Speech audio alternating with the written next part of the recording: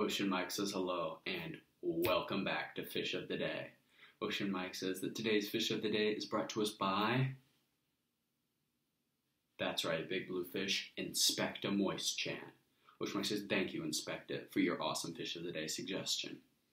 Ocean Mike says that today's Fish of the Day is a little bit different than usual, as it is a sea slug. Not just any sea slug, the blue glaucus sea slug. Ocean Mike says that they're part of the nudibranch family. Ocean Mike says they are a very unique looking type of sea slug, as they almost seem to take on the appearance of like a mystical flying fish. Ocean Mike says that despite this, in their high detailed bodies, they only grow about to, to be an inch long. Ocean Mike says that they are quite small and quite cute. Ocean Mike says they are, however, quite deadly. Ocean Mike says that by themselves, they produce no serious threat to humans. They have no venom or anything like that. But Ocean Mike says that their prey does. Ocean Mike says that the blue glaucus sea slug feeds on jellyfish.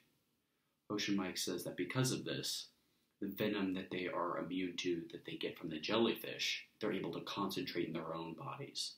And if they're picked up by a human or other fish, Ocean Mike says that they are capable of producing that venom and stinging the predator. Ocean Mike says because of that, it can lead to some pretty serious injuries if you're not careful, especially since they're so small.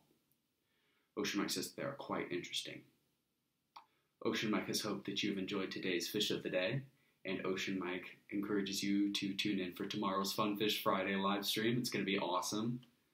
Ocean Mike says that he hopes everybody's had a great day, and Ocean Mike encourages you guys to keep the ocean safe, be aware of endangered species, invasive species, watch out for pollution. Ocean Mike says try to keep our ocean safe, so Ocean Mike is able to still make episodes of Fish of the Day on fish that aren't extinct.